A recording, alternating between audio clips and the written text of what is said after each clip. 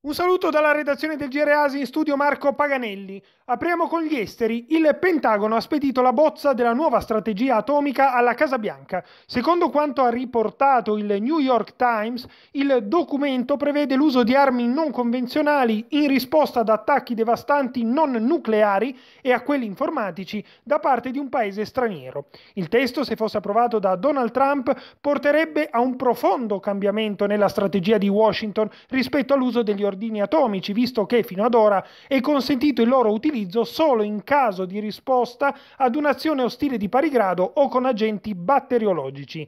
Gli stati che, secondo gli esperti, potrebbero minacciare la sicurezza degli Stati Uniti sono in particolare la Russia, la Cina, l'Iran e la Corea del Nord.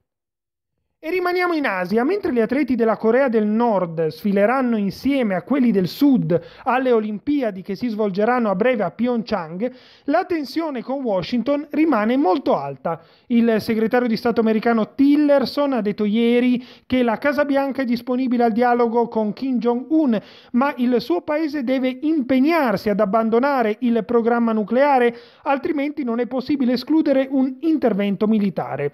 Continuano intanto i preparativi preparativi in vista di quest'ultimo, il Pentagono ha inviato infatti nuovi bombardieri nella sua base militare sull'isola di Guam. Veniamo in Italia, sì dell'Aula della Camera alla prosecuzione per il 2018 delle missioni internazionali, tra cui quella nel Niger.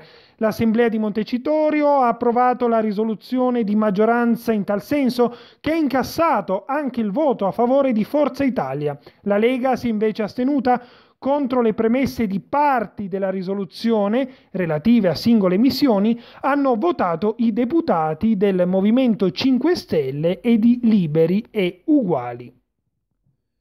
Nonostante il via libera europeo alla commercializzazione di cibi contenenti insetti e i loro derivati, nessuna specie ha ottenuto fino ad oggi l'autorizzazione preventiva prevista a livello europeo, ma solo un lasciapassare che implica tra l'altro l'accertamento per la sicurezza per le quantità di assunzione proposte. Lo ha precisato il Ministero della Salute.